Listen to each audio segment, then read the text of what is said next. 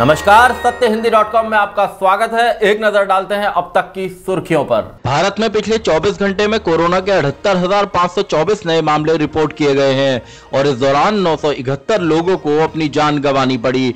देश में कुल संक्रमितों की संख्या अड़सठ लाख पैंतीस हज़ार छह सौ छप्पन हो गई है और मरने वालों की तादाद एक लाख पाँच हज़ार पाँच सौ छब्बीस हो चुकी है। भारत में एक्टिव केस नौ लाख दो हज़ार चार सौ पच्चीस है और अट्ठावन लाख सत्ताईस हज़ार सात सौ पाँच लोग ठीक हो चुके हैं। कर्नाटक में एक दिन में एक लाख से ज़्यादा लोगों की कोरोना की जाँच की गई, जिनमें से दस हज़ार नौ सौ सैतालीस लोग संक्रमित पाए गए। राज्य में संक्रमितों की कुल संख्या छह लाख अड़सठ हज़ार छह सौ बावन हो गई है। इनमें से एक लाख सोलह हज़ार एक सौ तिरपन सक्रिय मामले हैं। बीते 24 घंटों के दौरान कोरोना से 55 लोगों की मौत हुई और इसके साथ ही राज्य में कोरोना वायरस से मरने वालों की संख्या तीन हज़ार एक सौ नब्बे हो चुकी है। गुजरात की बात करें तो बुधवार को कोरोना संक्रमण के 1311 नए मामले सामने आए। इसके साथ ही संक्रमितों की कुल संख्या एक लाख छियालीस हज़ार छह सौ तिहत्तर हो गई। नौ मरीजों की मौत हो जाने के बाद से राज्य में वायरस से मरने वालों का आंकड़ा तीन हज़ार पाँच सौ इकतीस हो गया है।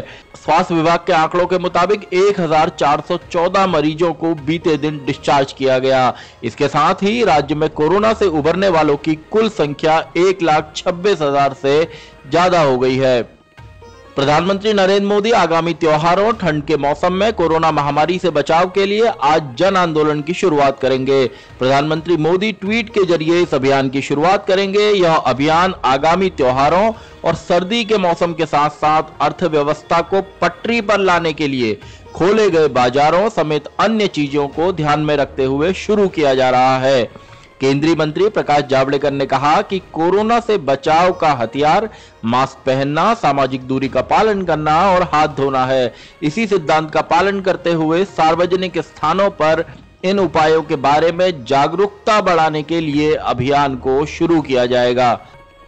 कोरोना वायरस संक्रमण की वजह से चार दिनों तक अस्पताल में भर्ती रहने के बाद अमेरिकी राष्ट्रपति डोनाल्ड ट्रंप अब काम पर वापस लौट आए हैं।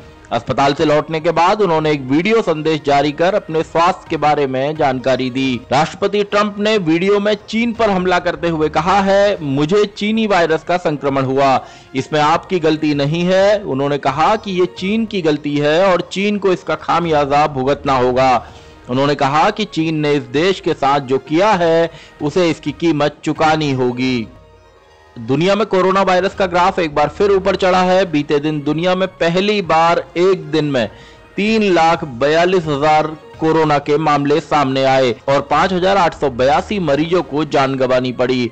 दुनिया भर में अब तक तीन करोड़ तिरसठ लाख लोग कोरोना से संक्रमित हो चुके हैं। इसमें से दस लाख उनसठ हज़ार लोगों ने अपनी जान गंवा दी है। वहीं दो करोड़ चौहत्तर लाख से ज़्यादा मरीज़ ठीक हो चुके हैं।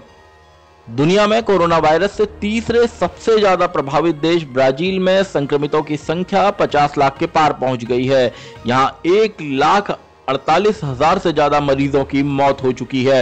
वहीं महामारी से सबसे ज़्यादा प्रभावित देश अमेरिका में कुल सतहत्तर लाख छिहत्तर हज़ार लोग संक्रमित हुए हैं। इनमें से उनचास लाख तिरासी हज़ार मरीज़ ठीक हो चुके हैं, जबकि दो लाख सोलह हज़ार मरीजों की मौत हो गई। अमेरिका और ब्राज़ील में दुनिया के 36 फ़ीसदी कोरोना मामले हैं। हालाँकि इन दोनों देशों में कोरोना वायरस के नए मामलों की रफ्तार भारत के मुकाबले आधी है। आज की खबरों में बस इतना ही। बाकी खबरों के लिए बने रहिए सत्य हिंदी डॉट कॉम के साथ।